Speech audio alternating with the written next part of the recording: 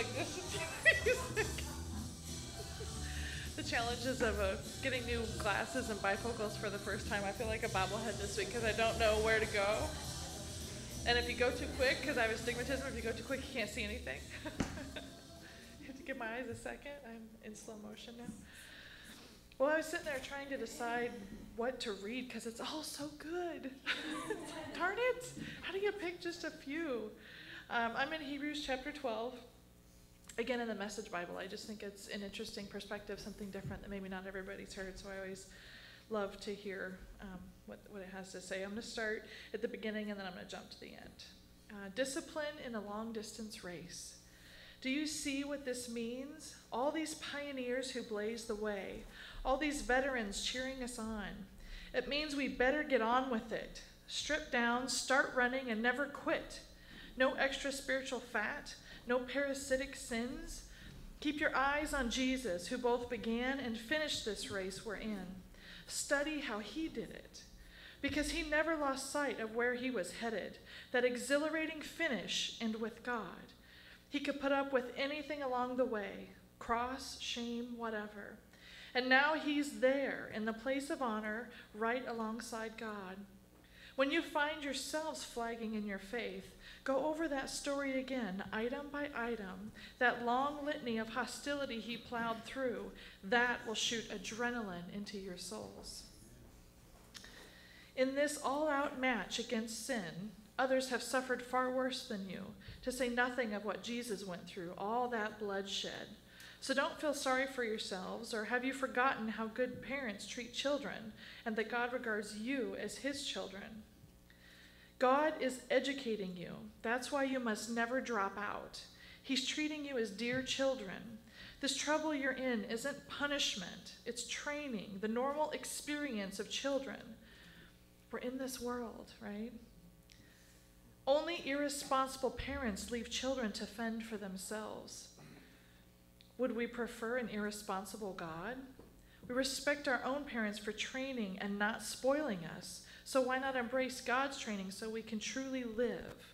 While we were children, our parents did what seemed best to them, but God is doing what is best for us, training us to live God's holy best. At the time, discipline isn't much fun. It always feels like it's going against the grain.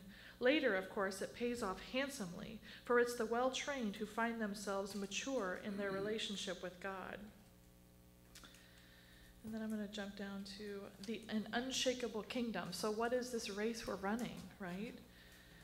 It's the unshakable kingdom. Unlike your ancestors, you didn't come to Mount Sinai, all that volcanic, volcanic blaze and earth shaking rumble to hear God speak. The ear splitting words and soul shaking message terrified them, and they begged him to stop. When they heard the words, If an animal touches the mountain, it's as good as dead, they were afraid to move. Even Moses was terrified. No, that's not your experience at all. You've come to Mount Zion, the city where the living God resides.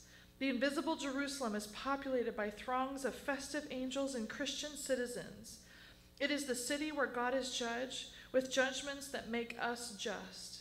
We've come to Jesus, who presents us with a new covenant, a fresh charter from God. He isn't the mediator of this covenant. The murder of Jesus, unlike Abel's, a homicide that cried out for vengeance, became a proclamation of grace. So don't turn a deaf ear to those gracious words.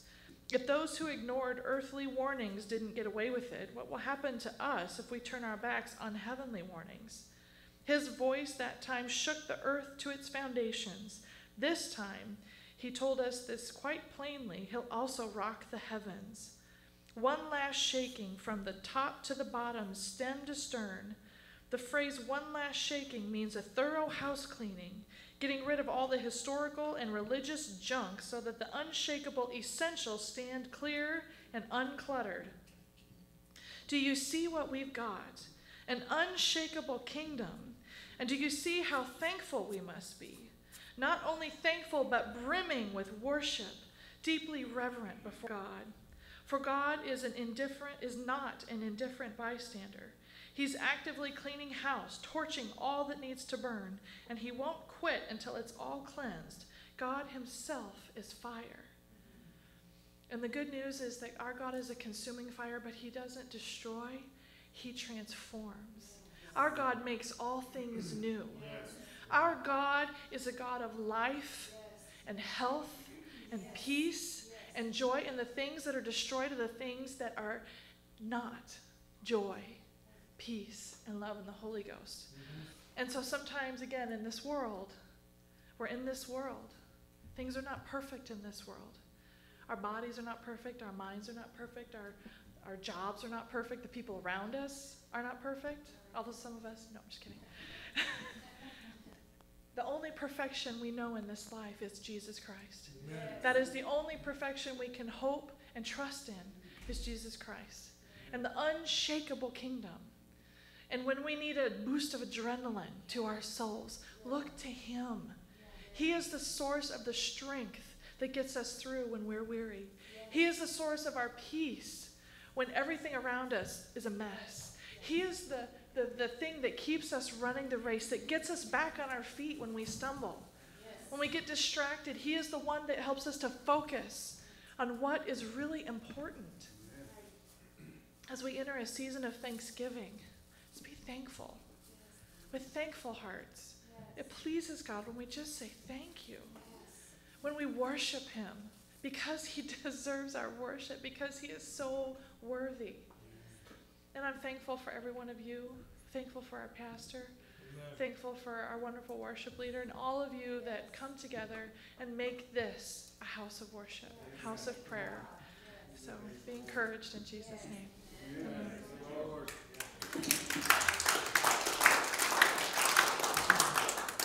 Anybody have any prayer requests or? Any testimonies like share? Yeah, Nathan. Uh,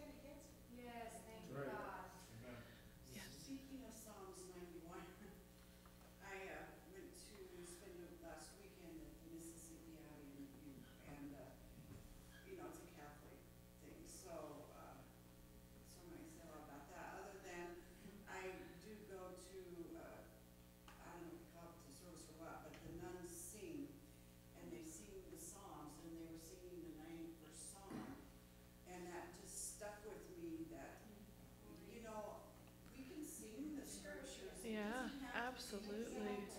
Or just whatever, so I around my house That's wonderful. It, it, lifts you up, it yeah. hope, it gets it, it out into the, yes. into the world, you know, to become a reality, to bring back to you what God's, you know, wanting to. So it's not just about speaking, singing. Yeah. yeah. yeah. Well, and, and scientifically, a sung sound versus a spoken sound rings like exponentially more. The vibrations. There's something that happens when we sing to the to the power that comes out of our mouth. It is more powerful when we sing. It's amazing. Yeah, Done. You know,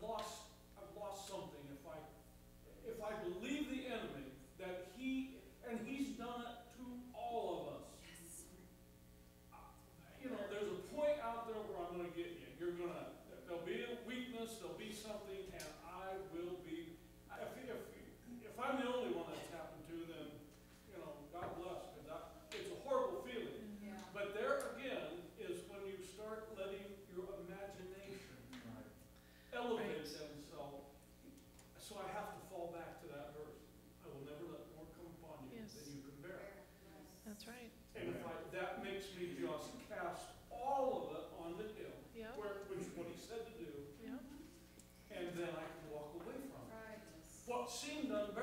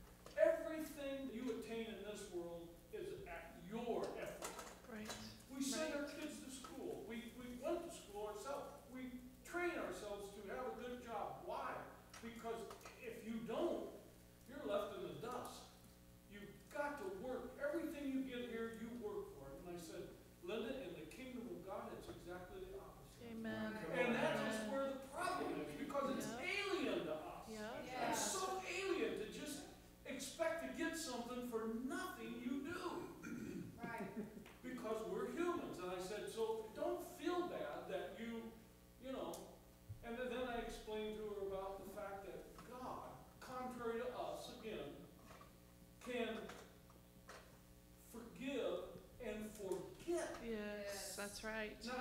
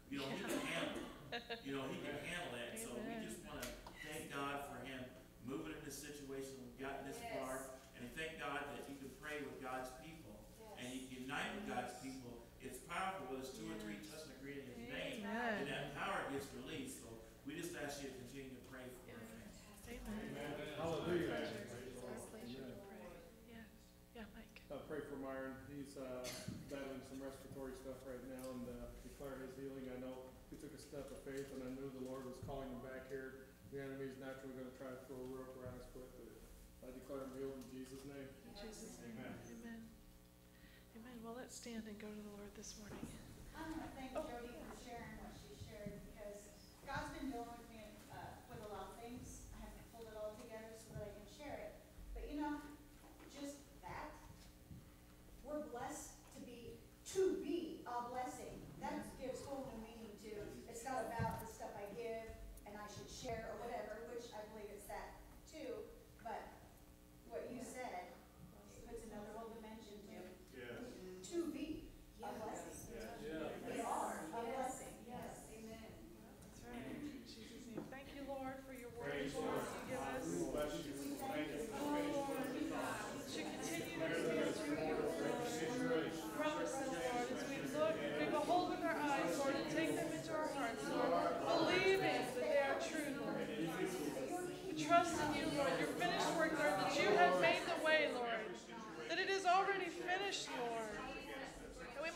we walk in it. Lord, as we lift our voice in thanksgiving to you, Lord, thank you, Lord. Thank you, Lord, that we are blessings. Lord, that we are blessings, Lord, as we give. Oh, Lord, as you bring the increase, Lord Jesus. You bring the increase to the healing, Lord, to the bodies that need to be healed, Lord. That you bring the increase, Lord, to the to the blind eyes that need to be opened to the truth of your word, Lord that you open the deaf ears, Lord, that have rejected your word, Lord, that cannot hear your love and your grace. Lord, that we will see the dead raised, Lord, plucked from the depths of hell, Lord. Jesus, we thank you, Lord, that as we gather together, Lord, as we agree together, Lord, that nothing is impossible. Nothing, nothing is impossible, nothing. Lord. Thank you, Lord, that you encourage us, Lord, when we need encouragement. Thank you, Lord, that you reveal your word in greater measures from glory to glory. Oh, I thank you, Lord, that when we gather together, Lord, that you are here in our midst to encourage us, Lord, to, to help us to move forward, Lord, in your plans and your purposes, Lord. That you further your kingdom, Lord, every time, Lord. That you further your kingdom, Lord. Lord, that you know our heart's desire, Lord, to see your kingdom come to this world, Lord, to see the promises in your word unfold to the people around us, to our friends, our family, our co-workers. Lord, that our shadows would heal as in the days of your disciples, Lord. Lord, that the miracles that have come from you, Lord, are just commonplace, that we are supernatural, new creation, a new creation, Lord, formed by the power of your blood. Lord, in the word of our testimony, Lord, let the testimonies come forth for your glory, Lord. I thank you, Lord, as we remember Psalm 91, Lord. Under the shadow of your wing is our resting place. Under the shadow of your wing is where we come to you to whisper in your ear and to be held by you, Lord. It's where our, our hearts are calm. It's where our hearts are full of love and peace and joy. That we run to you, Lord, that we will not walk away as Jerusalem did. When you call us, Lord, we will come near to you. And we trust that you are our strength and our shield and our rear guard, Lord, that nothing will come against us, Lord. That though a thousand may fall on our right to our left, Lord, it cannot come nigh our houses, our families, our friends, Lord. I thank you that you never leave us, you never forsake us, that we are to have no fear. No fear. For you are greater. You are greater, Lord. And you are powerful. And we worship you this morning, Lord. We lift you up and magnify your name, Jesus, the name above all names. We put our hope and our trust in you. Oh, be with us as we meet this morning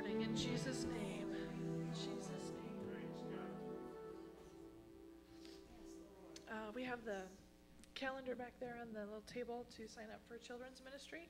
Um, we are going to have a, a, a birthday party for Jesus for the kids on uh, December 21st, the last Sunday before Christmas. So we'll have a little party for them then. So bring all the kids if you're around. Uh, December 5th, uh, 7 p.m., Eastern Gate House of Prayer. Uh, the Lord gave me this, uh, this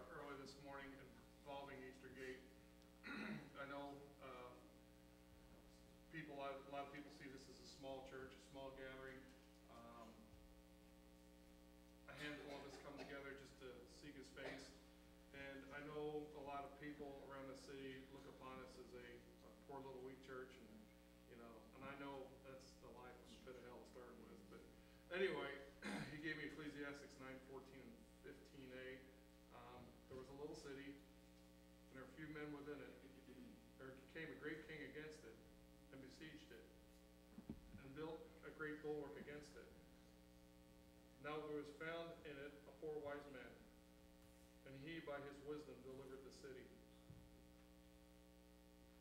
This city will be delivered Amen. by this poor little church. But we have God's wisdom. Yes, we We do. have God's wisdom. He'll give us the strategies. Um, he'll give us the ways to maneuver through what the enemy is causing for destruction of this city. Amen. Come with us, pray with us, stand with us. Yes. The Lord will reveal, the more that come, the more revelation comes forth. Amen. Yes, There's iron sharpening iron. A piece of iron can't sharpen itself. It needs at least another piece of iron.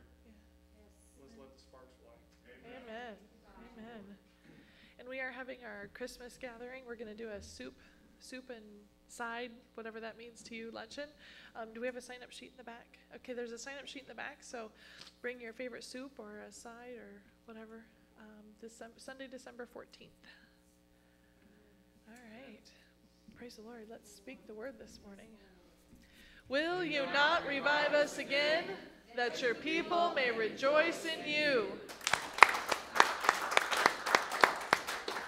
I am a believer, and these signs do follow me. In the name of Jesus, I cast out demons, I speak in new tongues, I lay hands on the sick, and they do recover. Christ has redeemed me from the curse of the law. Therefore, I forbid any sickness or disease to come upon this body. Every disease, germ, and every virus that touches this body dies instantly in the name of Jesus. Every organ and every tissue of this body functions to the perfection to which God created it to function. And I forbid any malfunction in this body in the name of Jesus. I receive the spirit of wisdom and revelation and the knowledge of Him, the eyes of my understanding being enlightened, and I am not conformed to this world, but am transformed by the renewing of my mind. My mind is renewed by the Word of God. The Lord rebukes the devourer for my sake, and no weapon that is formed against my finances will prosper. All obstacles and hindrances to my financial prosperity are now dissolved. The Lord has pleasure in the prosperity of his servant, and Abraham's blessings are mine.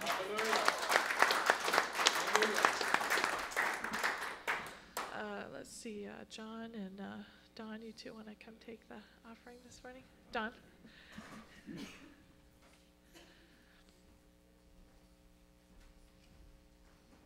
Don, you want to ask the blessing, please?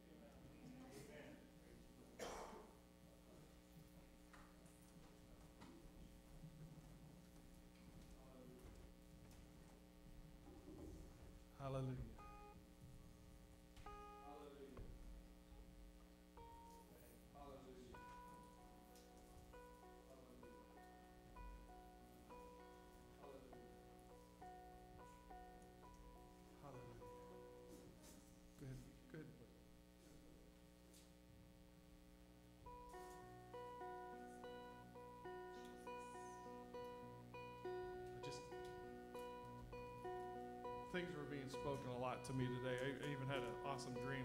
Uh, I talked to Tammy about it earlier today. I'll share later on. I don't, don't want to spend a lot of time.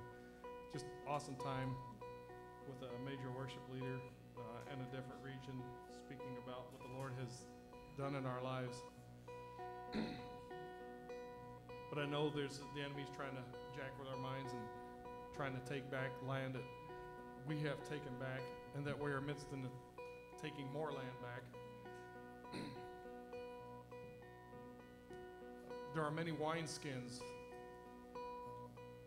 old wineskins with old wine in them that are just sitting off the sidelines in the church and aren't taking the authority that the Lord had once given them and using it. And it's sad because those are the people that would be sitting right over there, I believe, right now. We're going to call you back in Jesus' name. We're going to call you back in Jesus' name. There's a pouring going on. There's a pouring going on. And I see the Lord birthing a new wineskin within the old wineskin. And as the new wineskin is expanding and filling up. It's going to burst the outer wineskin and dissolve the outer wineskin. The old wineskin will be gone. I'm seeing that right now. We're calling it out. To back that up, the Lord gave me Isaiah 56, 9 and 10. And all the beasts of the field come to devour you, all you beasts of the field. His watchmen are blind, and they are ignorant. They are all dumb dogs. They cannot bark, sleeping, lying down, loving to slumber.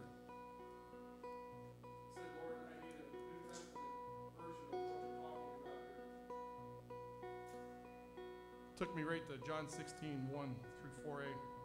And he said, These things I have spoken to you, that ye not be offended. They shall put you out of the synagogues, yea, the time is cometh that whoever killeth you will think that he doeth God service. And these things they will do unto you, because they have not known the Father, nor me. But these things I have told you, that when the time comes, you may remember, you may remember that I have told you of them. Calling out to the north and the south and the east and the west, the old wineskins have a revelation be birthed in them right now. We will not give up. His sacrifice is done. The kingdom is now here within all of you. The kingdom is now to be birthed. And as revelation goes on, even in the midst of worship, if God is laying something on your heart, it's not up to us to go through a rack of songs just ratcheting it off. I don't do that. If I hear the Lord speaking through you, we will stop and listen to the Lord. Because He is in the quiet times, He is in the storm times, He is in the loud times, and He is in the quiet times. Let us have an ear to hear. Because He can talk through Addie, He can talk through Don. He's no respecter of persons. Okay? I saw Kennedy healing somebody yesterday in my spirit eye. She walked to somebody and they were healing, and it was a lower back pain. I'm experiencing lower back pain right now, but it's not me who's having it. There's someone in here. Is somebody experiencing lower back pain right now? You are? Okay. As we're worshiping, those that are being led by the Lord, and even if Kennedy, that's up to grandma, that's her decision, come and lay hands on you. The healing is coming. The healing is now. The healing is now. Receive it right now. The main thing is for us to worship Him in the midst of this. We're in His presence, there's fullness of joy. When we're in His presence, the healing is there.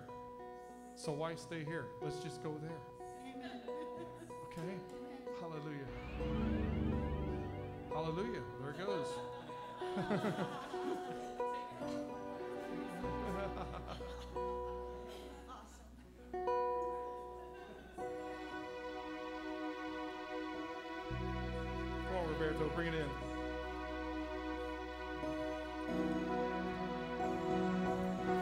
History split by sacrifice. God's perfect Son gave up his life to ransom back the lost and damned, paying a price. Hands as he was broken, and it was broken, our judgment lifted, our sins acquitted.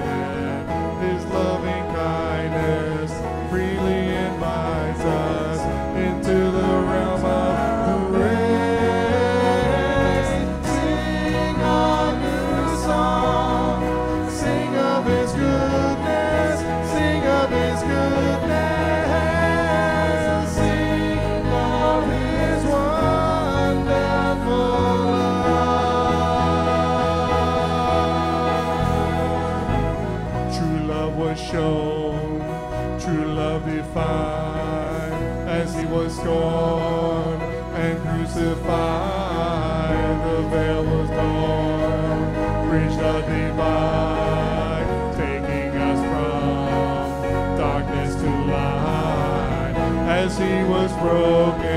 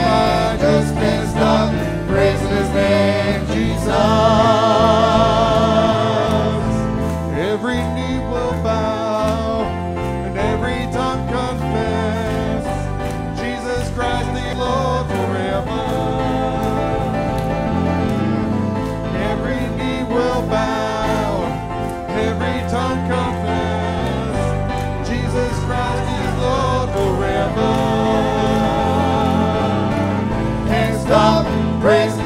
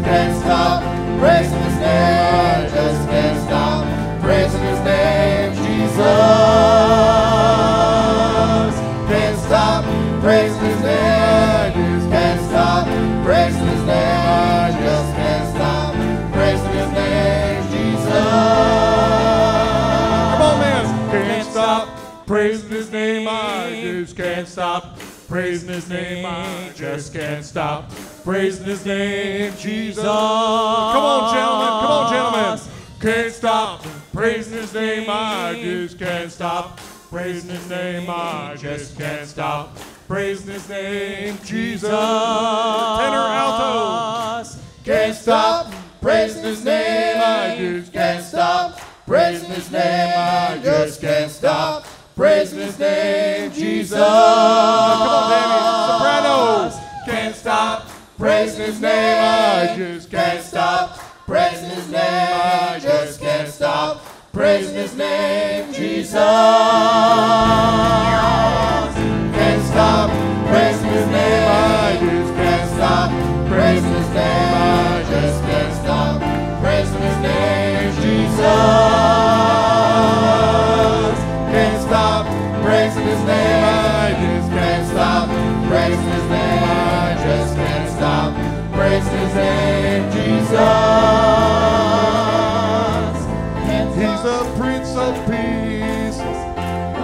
Morning star.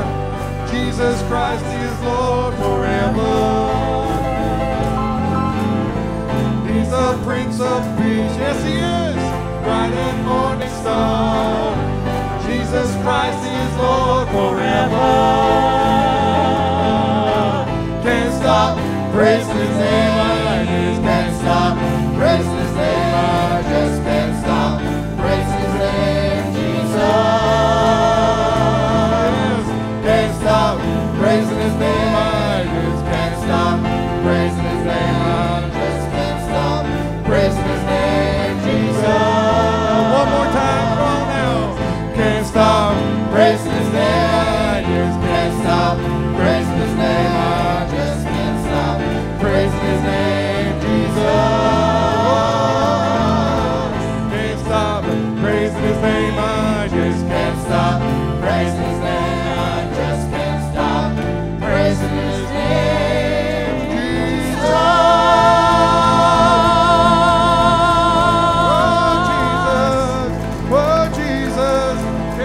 Praising your name. Thank you, Jesus. Thank you, Jesus. Thank you, Jesus.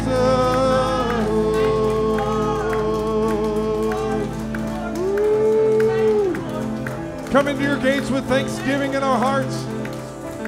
Songs filled with praise for you alone, Lord. Hallelujah.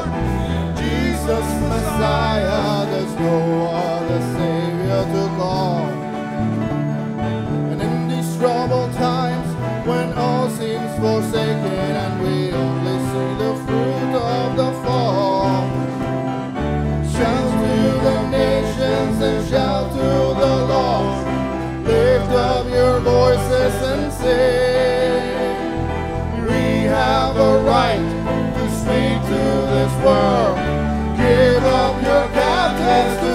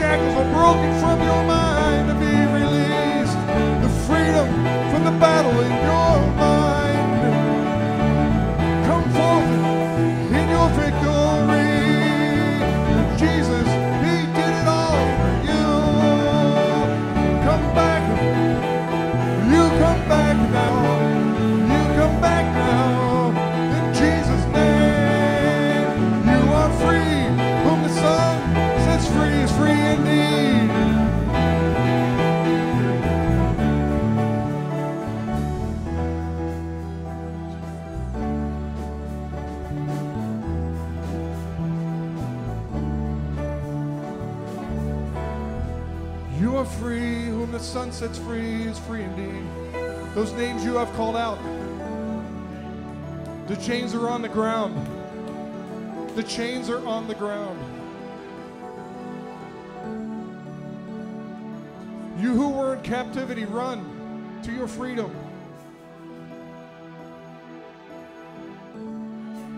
Lord, protect them in the field as they run free. As they run free right now. Let them call out to you, Lord, and celebrate your faithfulness.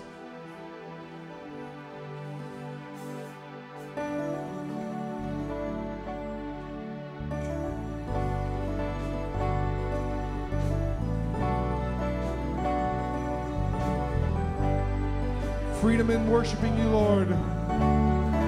Freedom in worshiping you, Lord.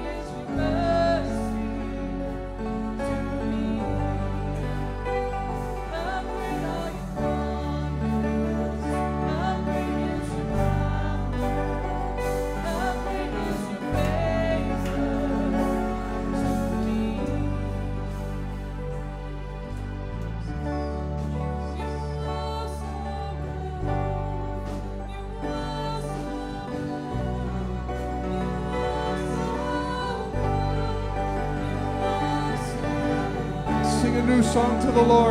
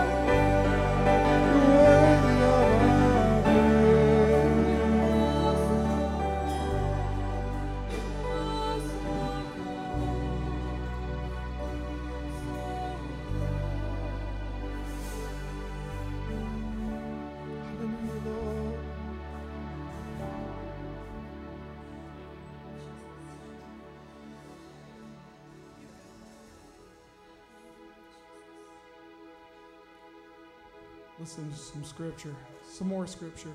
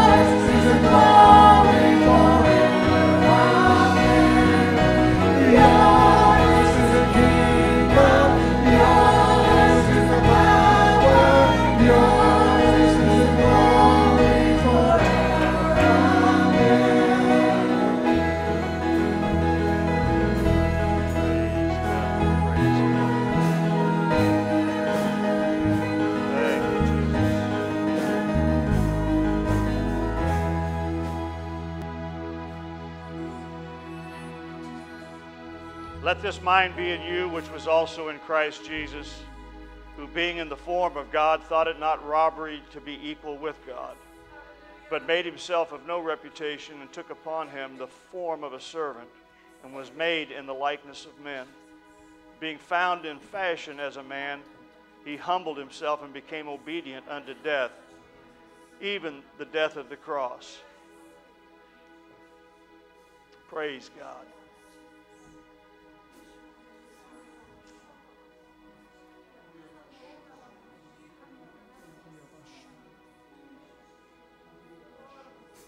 For it is God which worketh in you, both to will and to do of his good pleasure.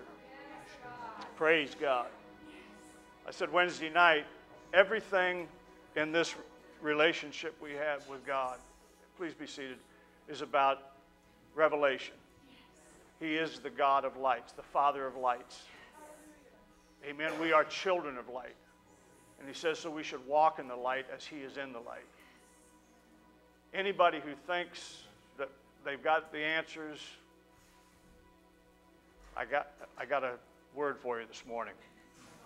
There's more answers than we even have questions for. Amen? But he's giving us revelation because the great revelation is, Paul said, Christ in you, the hope of manifestation. Christ manifesting in us. So that the church really becomes the body of Christ, so that we grow up into the full stature of Jesus Christ. That's what's happening. That's what we're groaning for. That's what the whole earth groans for, is for the manifestation of the sons of God. We are. We need more revelation for manifestation. That's, that's the bottom line. That's what all this is about. It's not about more information, it's about more, more manifestation. And the only way we can manifest is by having the revelation of who we are in Christ, of our oneness with God. Think about it. Jesus said this about us. Have, have this kind of a mind that you are equal with God. Now, that sounds like blasphemy for most of us coming from where we've come from. But the truth is, how can you be one with God and not be equal with God? This isn't about diminishing God in any way, shape, or form. It's about what God has done to elevate us, to make us children of God. Not servants, but heirs and joint heirs with Jesus Christ. That's the only way we can ever do greater works than He did. We have to have the same kind of revelation that Jesus had. Jesus was a man, but He was filled with the Spirit of God. He was a man, just He was no different than you and I, except without sin. We got born again. We are identical now to that Jesus, to that man, Jesus, that's filled with the Holy Spirit, sinless, without spot. Amen? That's what God says. That's not my opinion. That's not just my interpretation. That's what the Bible says over and over and over and over. And until we come into that full knowledge of what God has done, we're not going to do what God says we are to do, what we are capable of doing, what our mandate is to do as children of God. Raise the dead, heal the sick, cast out demons. Yes, we've had some sporadic and inconsistencies doing it, and we rejoice with every time we see success. But how often, how many times have we failed to come up to the full stature of Christ? Amen. These are the last days, believe me. If they aren't, there are last days anyhow. Praise the Lord. We're only going to live so long, whether the Lord returns or and takes us out of here. Well, either way, we're, we're in our last days. And because of that, we have a promise from God that in the last days, these signs will follow. So think about it. Make these the last days. I don't mean that your life has to end tomorrow. I'm saying make these the days where God arises and his enemies are scattered. Amen. God's not going to arise and show up over here, Je- Jesus popping up here and Jesus popping up there. He's going to arise in us and scatter the enemy. Amen. Give him a hand clap this morning. Praise the Lord. God bless you guys. Amen. And give the worship team a hand. Praise the Lord. They do great work for the Lord. Hallelujah. Praise God. Amen. Okay, the Sunday school kids, you can you can be dismissed. Thank the Lord. Praise God.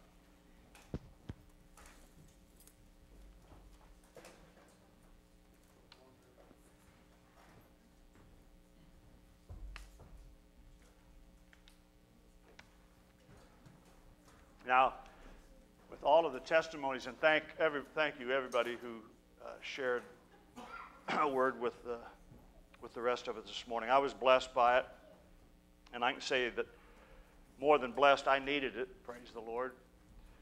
Uh, you know, we, like Don was saying, like so many others, uh, you know, we we all get to the end of ourselves multiple times in this life. Thank God that He's there when we get to the end of ourselves if we know that He is. But, uh, you know, it's so easy for us to just pick up and do what we have been doing because we can do it. You know what I mean? You just, you know, what we say, just uh, bite the bullet or, you know, keep a stiff upper lip and, and uh, just hold on and things will get better. But there are times when things don't get better, they get worse. I mean, in the natural.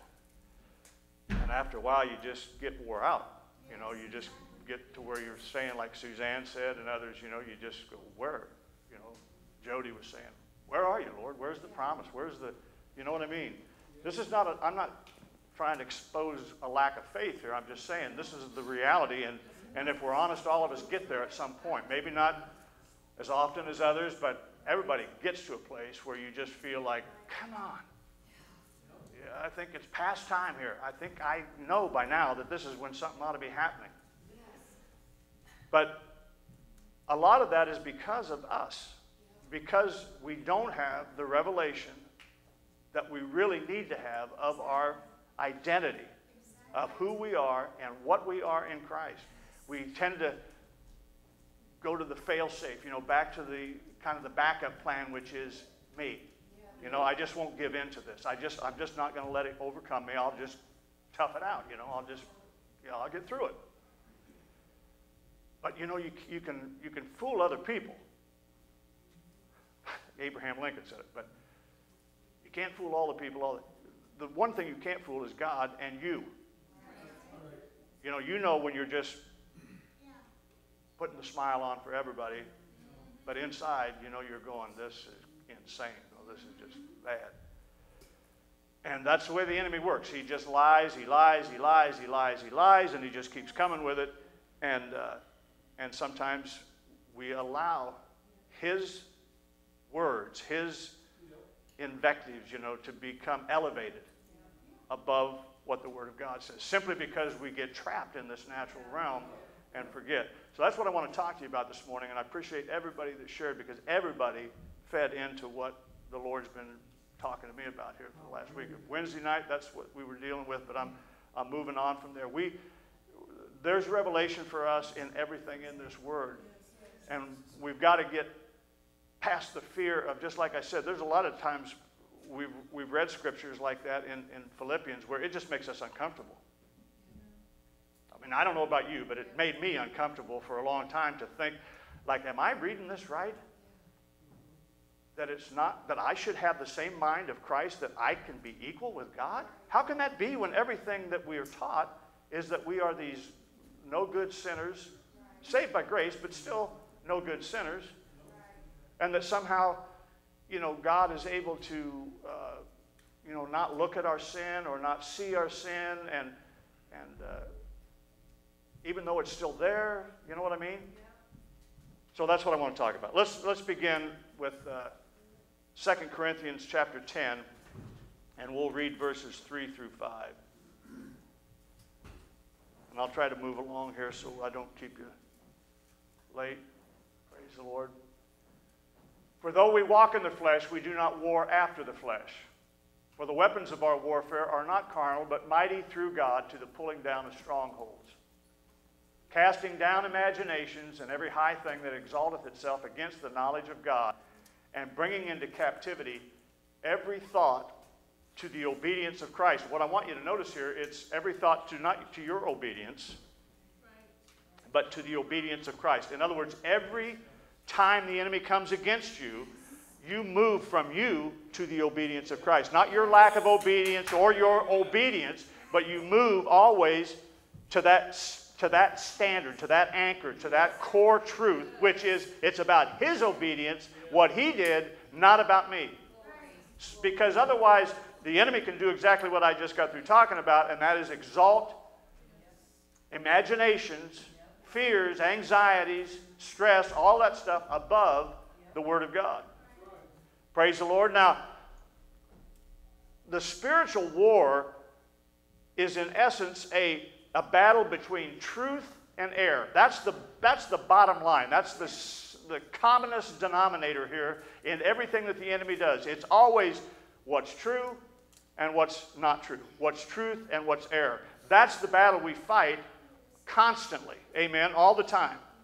It's fought against the world's philosophies that we are inundated with every single day through the newspaper, through the media, through everything else, and even religion has its philosophies. Amen? Praise God. And what they do, those philosophies of the world and of religion itself, raise themselves up against the true knowledge of God. Not just a knowledge or an awareness of God, but the knowledge of God, the knowledge God has. That's what we need. I, don't, I need more than a knowledge of God.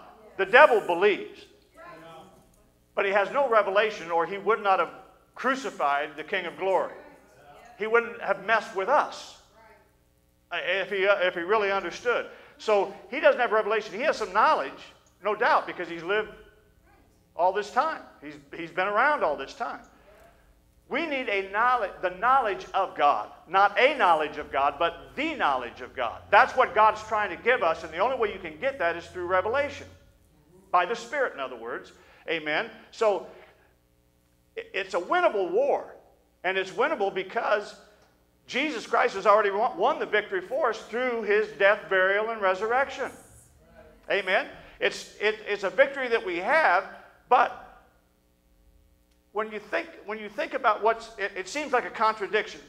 But Jesus has given us weapons as a result of that his death, his burial, and his resurrection. And they are, they are infused with and energized by the very power of God. Now look at, look at Jeremiah chapter 32 and verse 17.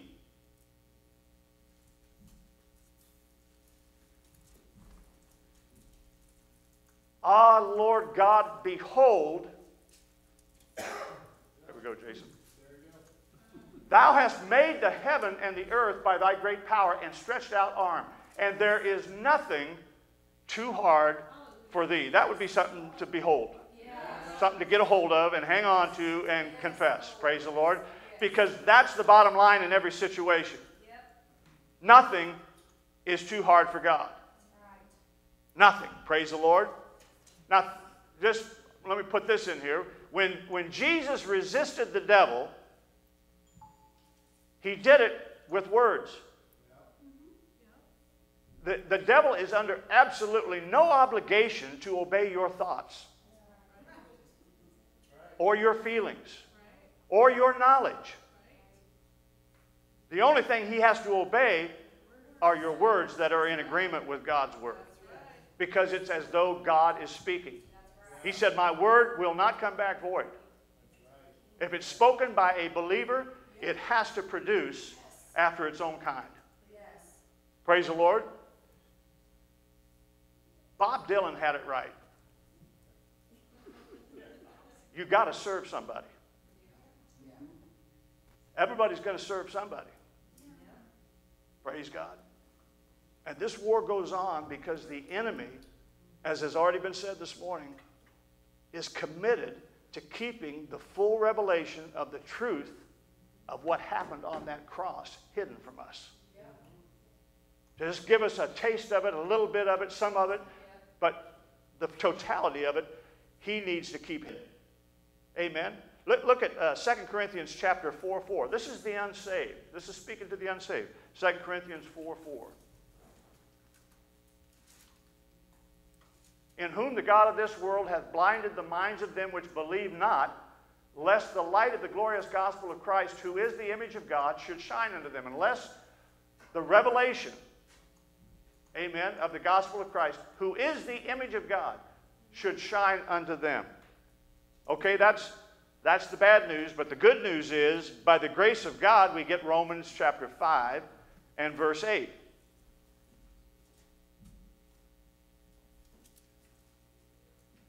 But God commended his love toward us in that while we were yet sinners, Christ died for us. So even though we were blind, God sent the light of the world to us and enlightened us that we might become the children of light.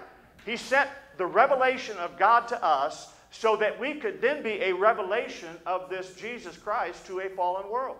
Not only would we receive revelation, but we would be a revelation. Amen? So suddenly, here's what happens the gospel moves from history to his story to my story. That's what God wants us to understand. Praise the Lord. It's about trusting in the finished work of Jesus Christ as full payment for our sins. Praise the Lord. John chapter 8 and verse 32.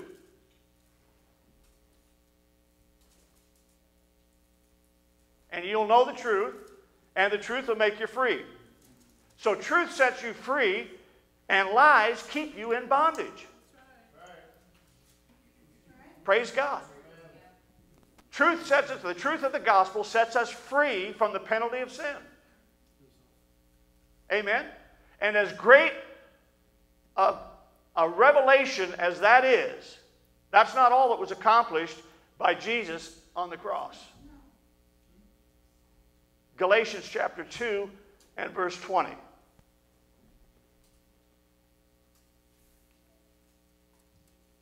I'm crucified with Christ. Nevertheless, I live, yet not I, but Christ liveth in me. And the life which I now live in the flesh, I live by the faith of the Son of God, who loved me and gave himself for me.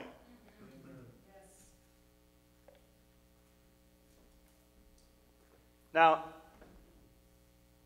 we've got to see that we died with Christ. We didn't just get our sins forgiven, we died with Christ. I know we accept that intellectually, but we don't, we, we really haven't gone there. At least I never have. I've never really had anybody take me further than that kind of superficial uh, teaching, praise the Lord. In Christ, we received new life. But before we could enter into that new life, the old me, the old you, had to die, had to be crucified. Praise the Lord. See, what I'm saying is we need revelation to be a continuous experience in our life. That's what the sharing is about. You never know. You think, well, this is, surely everybody knows that. You have no idea that the things that come out of your mouth, I, I, I assume that you usually don't know that there are people in here that don't know that. Amen. And there's things that that person who maybe doesn't know that says to me that I didn't know. Or at least it never rang true until I heard it coming from somebody else's lips. That's there's revelation all the time. There can, there's no way there cannot be revelation in a child of light. There's no way you cannot, unless you hide your light under a bushel, and that's what we're trying not to do hide it under a bed, any of that stuff. That's what we're trying to do in this church. I just briefly explained is to let your light shine. It isn't about how good you are, it's about how, what good you have in you in Christ that needs to be revealed. If you get to the place where you're comfortable letting your light shine here, it will be more natural for it to shine wherever you are, where, in whatever situation you find yourself. Praise the Lord. So we need revelation to continue. Look at uh, Ephesians chapter 1 and verse 17.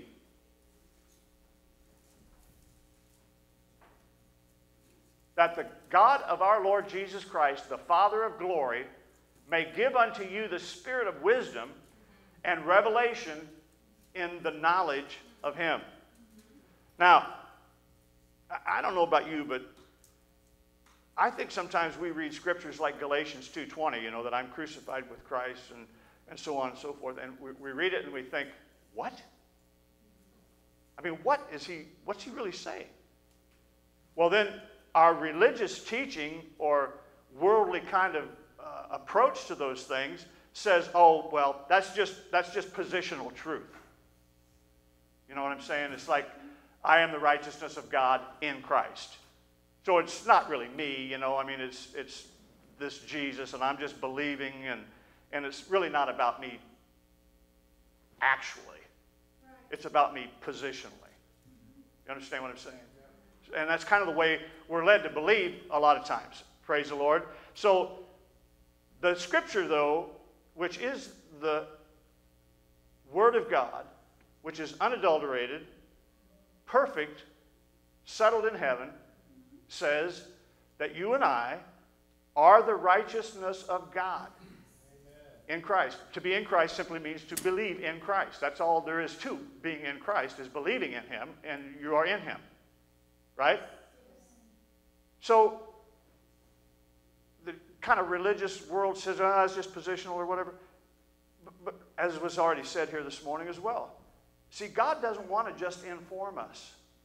He wants to transform us. Yes, yes. That's what this is all about. That's what he's trying to get us to understand. The truth of the word has the truth of this word right here has the power to transform you today if you can believe it. Praise the Lord. Think of it like this. If, if God sees us a certain way, then that's the way we are. Yes, Right? God's knowledge and wisdom is perfect. So, however He sees me, that's how I am. I don't care how anybody else sees me, how I see myself. It has nothing to do with it. God's ways are perfect. They're just. They're true. They're righteous. They are absolute. His word doesn't change. If He says you're the righteousness of God in Christ, then you're the righteousness of God in Christ. Now, we believe, we'll say, God said it, I believe it, therefore it is. Unless it's referring to me personally. Because it's kind of a stretch there, you know? But those words are true. If God said it, it's a settled fact. Whether it may take a thousand years for these scientists on this planet or, or men of knowledge to come into an agreement with it, but it's been settled. I mean, they thought the world was flat for several thousand years. I'm talking about the, the, the, the, the world view. But the Bible was declaring it to be an orb and that the planets, you know, from the beginning. Just because it took them 3,500 years, 4,500 years, 6,000 years, whatever, to come to that realization didn't make it untrue. Praise the Lord. If, if God's word is true and whatever he says about us is true, then I think, why can't we trust that what God says about us in his word is the truth? If, his, if he's perfect, if his word is settled, then whatever he says about me, it's true. Amen? Well, but my experience tells me that can't be true. My feelings, there's no way it can be true. But is the reality of what's true or untrue based on our limited experiences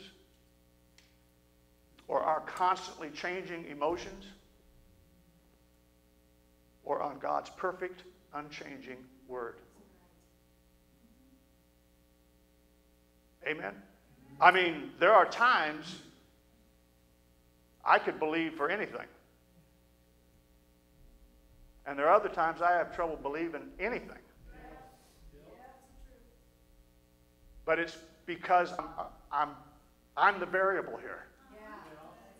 I'm basing on how I feel, what I'm experiencing, instead of on what the Word of God says. That's the discipline. That's the discipling that he talks about. It isn't about just be keep on the straight and narrow and always do good. The discipline is right here. It's it's getting the mind renewed so that you think the way God thinks. Hallelujah. Uh, Romans chapter 6, uh, verses 3 through 7. These are not new things for probably any of us here. But they're things that are undone, that are not finished in us. You know, I mean, they're finished in us, but they're not finished in the way that we perceive ourselves. So know ye not that so many of us, as we're baptized into Jesus Christ, we're baptized into his death. Therefore, we are buried with him by baptism into death. That like as Christ was raised up from the dead by the glory of the Father, even so we also should walk in newness of life. For if we have been planted together in the likeness of his death, we shall be also in the likeness of his resurrection. Knowing this, that our old man is crucified with him, that the body of sin might be destroyed, that henceforth we should not serve sin. For he that is dead is freed from sin. Praise God. So, what the scripture is telling us is that something has radically changed in you and me. Praise God. Because of what Christ did. We aren't just the same people that we used to be, amen, with eternal life slapped on it for good measure. Praise God. We are different. We are changed radically at the core. Different, changed, metamorphosized. Whether you feel it or don't feel it, whether you think it or rationalize it or not, that's what the Bible says happens to you the moment you become a believer. You are dead. You are crucified. You say, How can that be? The same way Christ was crucified before the foundation of the world, and we were in Christ before the foundation of the world. You were crucified. You were buried. You were resurrected. It can't be any other way for you to have what the Bible says you are to have. Praise God. 1 Peter chapter 2 and verse 9. These truths, we need to, we need to tell ourselves and one another this over and over and over and over and over and over without ceasing because the enemy is, is doggedly, amen, committed to keeping you blind to the truth of who you are in Christ and what God has done for you. Amen.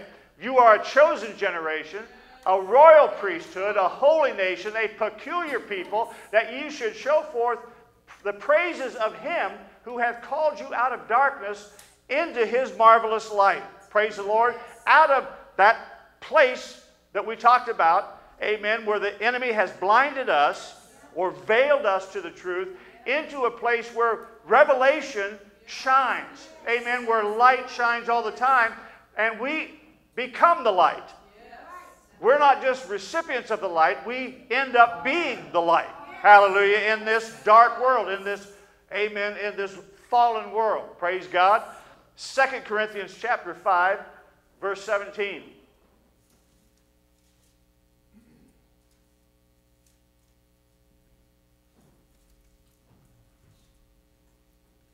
Therefore, if any man be in Christ, he is a new creature. Old things are passed away. Behold, all things are become new. Now, that's not just verbiage. I mean, that's not just something nice to say. When you read that out of this Bible, that's God's Word. That's the truth. It's not some homage to a particular denomination or religious belief. It is the truth. Praise God. We've been freed from sin's control. No longer its slaves. You're going to serve somebody. Uh-huh. Amen? And if you're blind, if you're still in darkness, you're a servant of sin. But if you've seen the light, praise the Lord, if you have received the revelation of the gospel of Jesus Christ, you become light. You are no longer a servant of sin.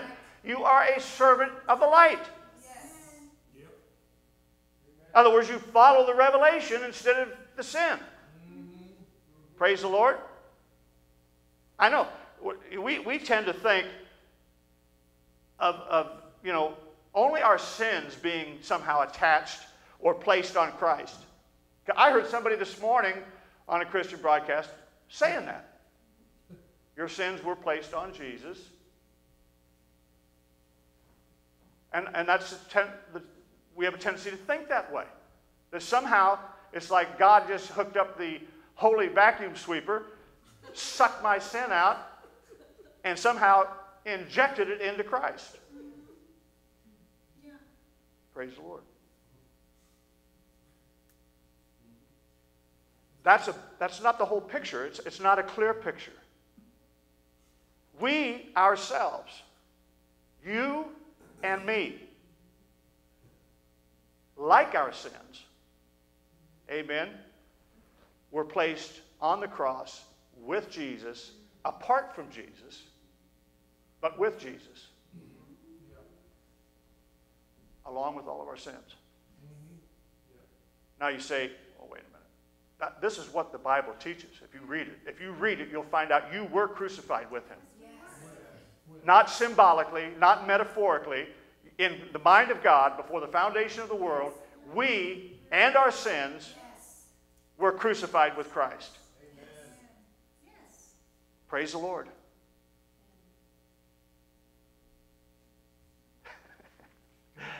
I know everything we've ever thought, everything, it's all going round and round in our heads right now, trying to make, you know, make sense.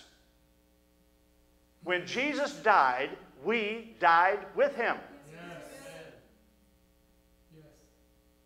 When Jesus was buried, we were buried with him. Baptism is the symbol. The reality's already taken place.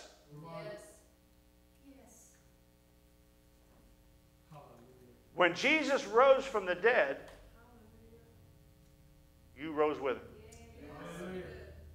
Amen. And when you rose with him, you rose a new creature. Spiritually alive, set free from sin's control. People. God people. Dead to sin. Me?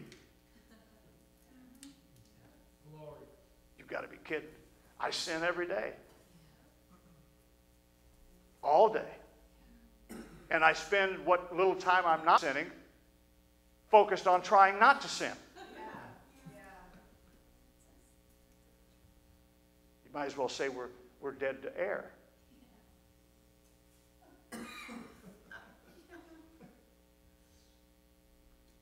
But to start with, we need to know and understand what dead to sin does and doesn't mean. First of all, it doesn't mean that you no longer sin. As believers, we all still sin. And anybody who says they doesn't is sinning. They're lying. Second, being dead to sin doesn't mean that temptation doesn't happen. Uh, Hebrews 4.15 talks about Jesus being tempted like as we all are, just like any human, because he was a human. You say, not Jesus. Oh, yeah. He had thoughts. He had temptations. He just didn't yield to them. Praise the Lord. Being dead to sin means you are actually, really, genuinely no longer alive to it. I know that's pretty deep. But that's what the scripture teaches. Titus chapter 2, verses 11 through 15. See, we can't get our, it's difficult to get your head around this idea of actually you were crucified with Christ and that you died and that what you're seeing here is not what it used to be. The external, the external, the sarx, as you say, is still the same. But that was never you anyhow. That was just an earth suit. That was just a that was just a your ticket to ride on this planet. It makes you legal here. But you were a spirit, and I always have been. You were just dead to God. You got born again, your spirit was made alive to God. This thing didn't change, it's the same as it's always been. For the grace of God that bringeth salvation hath appeared to all men, teaching us that denying ungodliness and worldly lust, we should live soberly, righteously, godly in this present world. Looking for that blessed hope and that glorious appearing of the great God and our Savior Jesus Christ, who gave himself for us that he might redeem us from all iniquity and purify unto himself a peculiar people, zealous of good works. That's God works, that's agreeing with God. Amen. Now, is there anything in those verses? I mean, really, if you don't approach it from where we've always come from in the past, is there anything in those verses about following a list of rules or regulations in order to stop sin? No, because Christianity is about relationship, not scrupulous adherence to rules and regulations. Religiously we think, well, oh, if I could only, and I mean, I've been here, if I could only have some kind of a spiritual experience, you know, if I could just go, we used to call it praying through. If I could just go get in a meeting somewhere where I would just get covered with goosebumps and freak out and see a vision or lose my mind and pass out or something, something that I could say, now I've had the experience. I've been changed. That's what religion does to us. Even though it may be well motivated, it still gives us a, a, a screwed up image of what God is doing. So we want this spiritual experience that'll make it true for me. Because somebody else said they had one that made it true for them. And maybe they did, and maybe they didn't.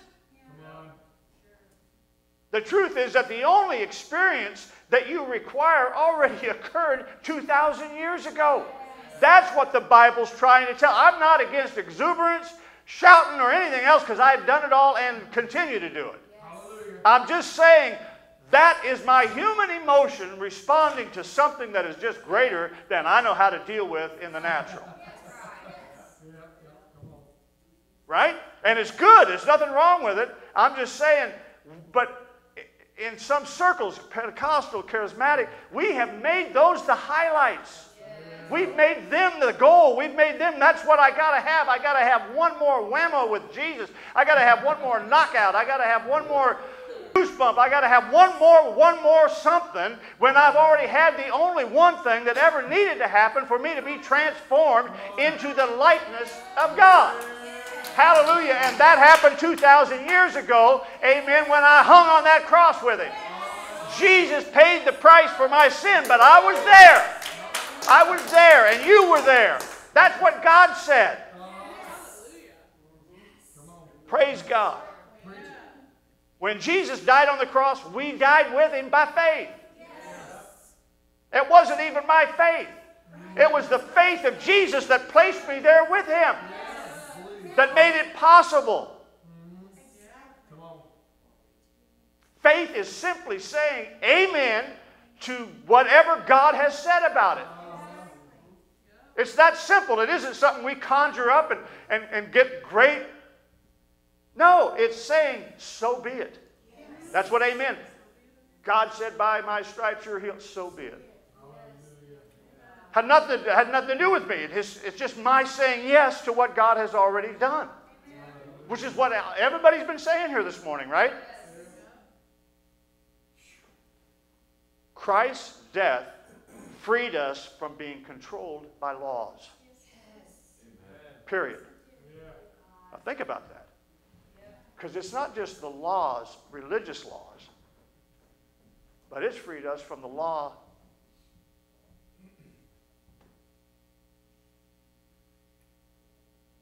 gravity.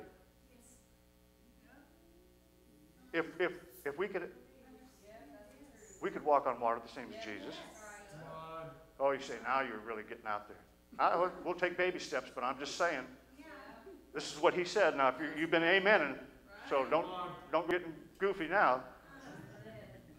It freed us from every law. Not just the law of religion. But I used to say to my mother, I hope I live forever and you never die. You know, that's possible. In fact, it's not just possible, it's a reality. Because once unbelief has been eradicated from this earth, the enemy, shut up. Guess what happens? People just like us will live forever.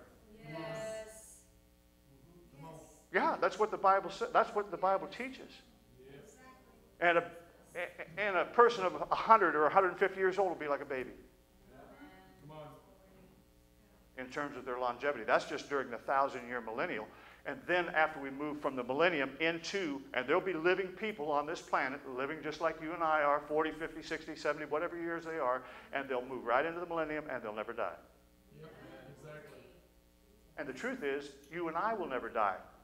We just think we're going to die because this thing goes into the ground or gets burned up or whatever we end up deciding to do with it.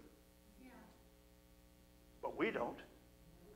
We'll be more conscious, more aware, more in tune, amen, than we have ever been or could ever hope to be while we're in a body.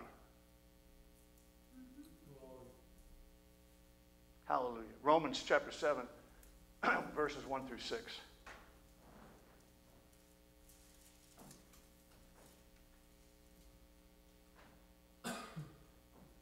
Know ye not, brethren, for I speak to them that know the law, how that the law hath dominion over a man as long as he lives. For the woman which hath a husband is bound by the law to her husband so long as he liveth. But if the husband be dead, she is loosed from the law of her husband. So then, if while her husband liveth, she be married to another man, she shall be called an adulteress. But if her husband be dead, she is free from that law, so that she is no adulteress, though she be married to another man. Wherefore, my brethren, ye also are come, have become dead to the law by the body of Christ, that ye should be married to another, even to him who is raised from the dead, that we should bring forth fruit unto God. For when we were in the flesh, the motions of sins, which were by the law, did work in our members to bring forth fruit unto death. But now we are delivered from the law, that being dead wherein we were held, that we should serve in newness of spirit and not in the oldness of the letter. Yes. Praise the Lord. We were taken from under the law system and we got born again. And the moment we got born again, we were put under the grace system. The law system doesn't even exist for us, it's, it's a non factor, it's dead. It's the previous husband. Praise the Lord. It, you know what we need to do instead of having another revival, we need to have a funeral. For the ex, uh-huh. for the late uh-huh. husband. Pe- But there'd be more people set free with a revelation of that un- and have an understanding of that than all the revivals that we could ever have that just hype us up and pump us up and then get us back out in the world and we're back under the same load of, of fear and anxiety and stress and everything else because we've never understood that there was only one really true revival. We died with Christ and were revived. Hallelujah. We were made alive again. Hallelujah. And newness of life. Praise the Lord. Hallelujah. I want you to see what our, you know, we know what the old, the ex husband said. Yeah. He was a jerk, you know, just controlling freak. I've heard, you know, we always hear that from, you know, you ever dated, you know? Oh, my last boyfriend was just a total jerk. Something happens, you know, they were all jerks, but, okay, let's move on. Hallelujah. anyway, he was. He was a, he was a manipulator, a control freak, a, a constant, you know, in your face complaining. Just uh, that's what the old husband was. But look, look at, let's look, just look at the new husband for just one moment. In uh, Jude, uh, Jude, verse 24.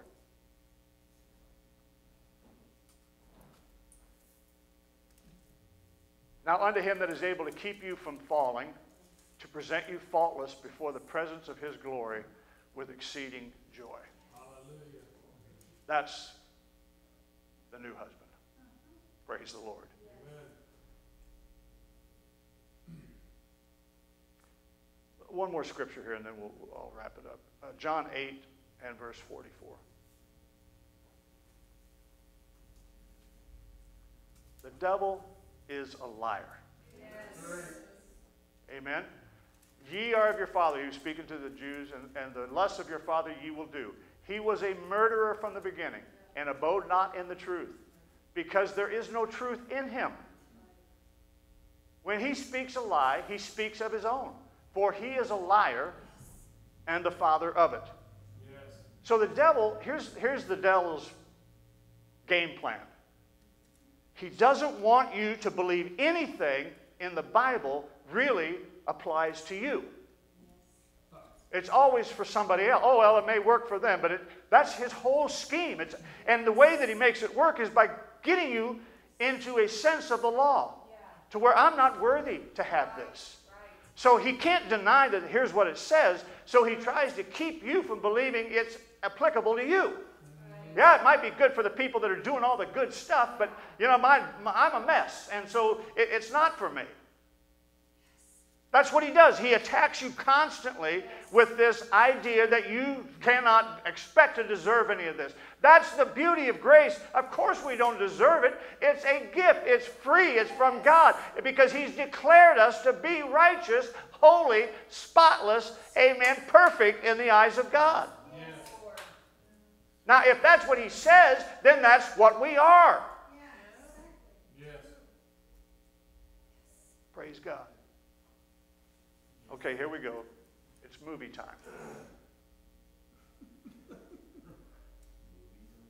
Hook. Remember when you were a kid? When I was a kid, it was Larry Hagman's mother was Peter Pan. Mary Martin. You didn't know that, but that's a little trivia for you. I pretended not to see the ropes when she fly. Peter Pan, yeah. Well, then along come Robin Williams and Dustin Hoffman. And they make this movie called Hook. It's Peter Pan. Well, I was thinking about this the other day. Why? I have no idea. Could have been the medication I was on, I'm not sure. Praise the Lord. But uh, Robin Williams is uh, a grown up Peter Pan. He's actually Peter Banning, is his name. And he's a workaholic, and he neglects his family for his career. He's just, that's his whole focus. And at first, he denies his identity as Peter Pan. Now, he's an adult now. And then, through a series of events, he returns to Never Never Land. Mm-hmm. And after some difficulty and time and things happen, he finally regains his ability to fly and to fight. Now, Captain Hook, Dustin Hoffman in the movie, is this evil deceiver. And he, in the final fight scene, Hook has Pan up against a wall and he's ready to kill him. And Hook says, You know you're not really Peter Pan. This is only a dream. When you wake up, you'll just be Peter Banning. Cold, selfish, man who drinks too much, obsessed with success, who runs and hides from his wife and children. And Peter's getting weaker and weaker, and he's, you know, all this is going through his head. And then all the Lost Boys. How could we forget the Lost Boys? They all start going, We believe in you, Peter Pan.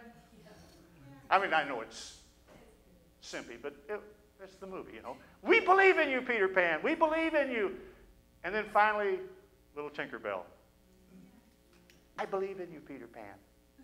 I believe in you, Peter Pan.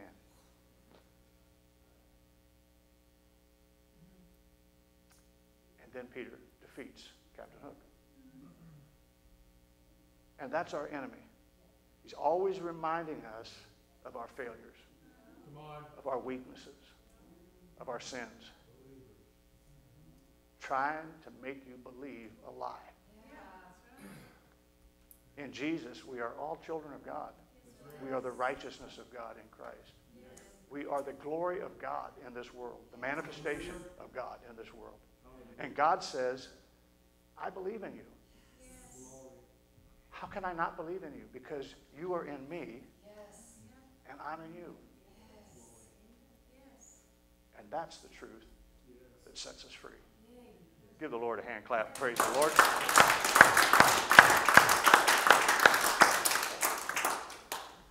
And I think it's appropriate that we realize that sometimes we need to hear it from other people. Sometimes we need to hear it from people around us. We need to, we need to say it to other people. We need to share it. And that's what's so important about us coming together. In the last days, especially. Because how can they ever be the last days, the true last days, when the body rises up and does what it does, unless we come together, unless we support one another, unless we. I believe in you, Jason. You know, I, I believe in you, Jody. I believe in you, Diane, Suzanne. You know, I know who you are. I know what you're capable of. And I don't care what anybody says. I don't care what the people say. I don't care what other people say. I don't care what other churches say. I believe in you because how can you not be this if Christ is in you? I'm not looking at a bunch of old, fixed up, painted up, uh, spruced up, dead people that have eternal life strapped to their leg that they're dragging around. We, we are t- totally new creatures. Radically, totally, magnificently changed by Jesus Christ. And if God says it, let God be true and every man a liar. Amen. God bless you. Have a great week. Make it supernatural because that's what you are. Hallelujah. You're dismissed in Jesus' name.